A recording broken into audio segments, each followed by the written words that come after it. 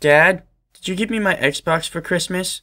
Well, son, ever since me and your mom got divorced, the woman that I loved so much, I couldn't afford rent anymore. So I lost the house. I also got laid off from my job because I was so mentally unstable after the loss of you and the other children. I've been getting by on food stamps and welfare. I'm sorry, son. I just. You selfish fuck.